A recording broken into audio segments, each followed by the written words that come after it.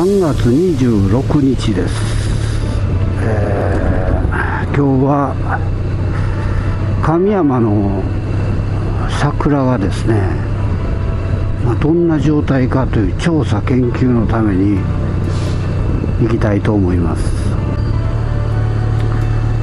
えー、この前のこのしだれ桜ですねこれはちょっと咲きかけてますよこれは。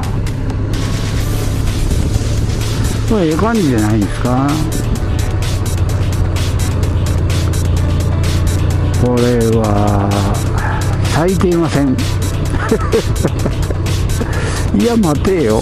ここも咲いていません。こう右側がちょっとこう咲き加減パラパラっと咲いてるかなっていう感じだね。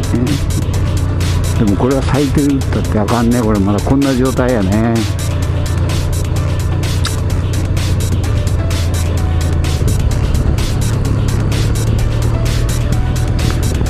えー、神山の桜を楽しみにしている人たちはもうちょっとですね。もう少ししてから来てくださいね。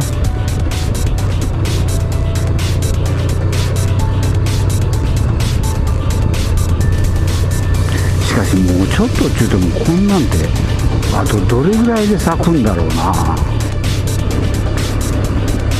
道の駅でちょっと話をしていましたらこの向こうにお寺さんがあるんですけどねそこのしだれ桜は満開違うのかという話だったんでちょっと調べに行ってきます。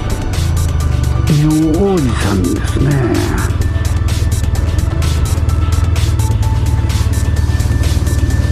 これ綺麗な。